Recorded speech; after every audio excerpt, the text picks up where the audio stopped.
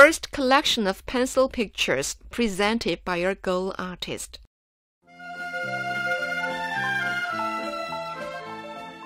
In the Democratic People's Republic of Korea, the fine arts are compulsorily taught as part of art education from kindergarten to the primary and junior and senior middle schools, and fine art groups are run.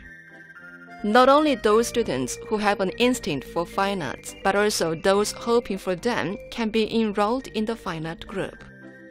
The fine art group at the Kinjae Junior Middle School in Sosong district of the capital Pyongyang is well known to the city for its high ability.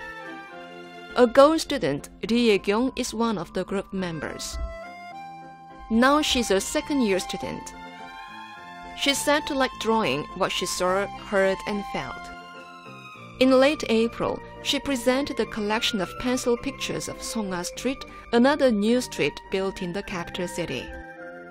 The collection shows the pencil pictures ranging from the groundbreaking ceremony of the dwelling houses last year to the removal to new houses this year.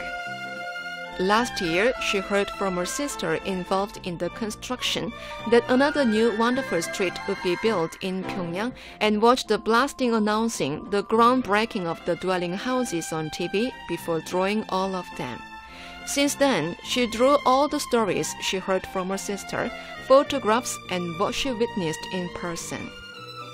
They became her first collection of pencil pictures. Fine arts teacher Pak Chan Sil says. 학생의 노력이 동반되지 않을 때는 좋은 결과를 맺을 수 없다고 생각합니다.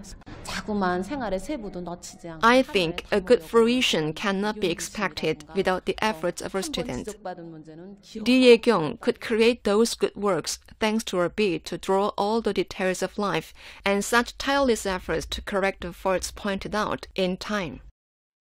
All the specialists deliberating the collection recognized her ability and expressed admiration, wondering if it was drawn by a second year student. Ri Ye Gyong intends to present another collection of works this year. Those collections will be a beautiful memory of the lady artist who realized her dream later.